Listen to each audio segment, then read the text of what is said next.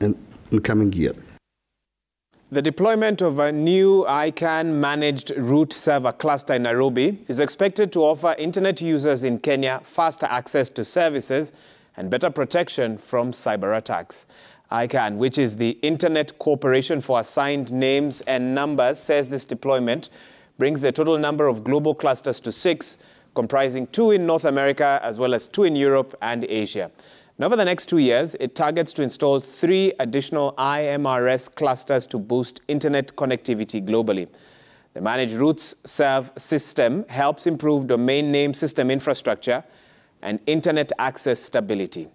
ICT and Digital Economy CS Eliud Owalo, who officiated the deployment, said Kenya will anchor its digital transformation on the system.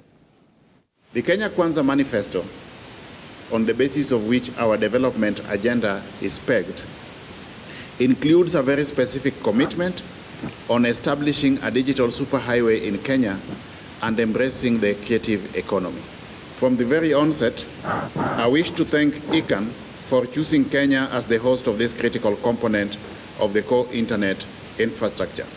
But it also put an extra effort on the need of infrastructure in this country or in this region. And that's why we're so happy that together with our partners here to, to take a little bit more of that technology coming into Africa and especially here in Kenya. What we do uh, with the sort of IMRS cluster is that we will provide the technology not only for, for Kenya, uh, but also for the, for the rest of African continent uh, that will make the internet technology part a little bit more secure,